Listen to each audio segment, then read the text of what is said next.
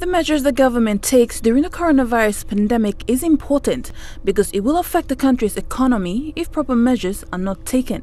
PNGINA Executive Director Paul Barker says countries overseas are having the highest number of people being made unemployed because of COVID-19.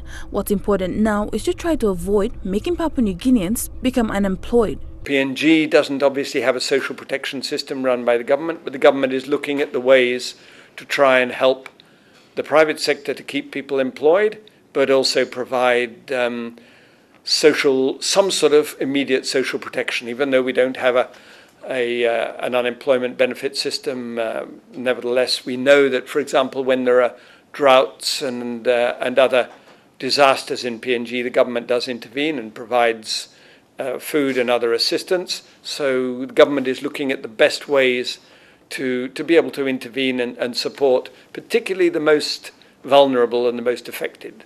Barker says on the economic side, some of the industries that are immediately affected include tourism, transport, recreation, hotels, and restaurants. These industries already have employers laid off.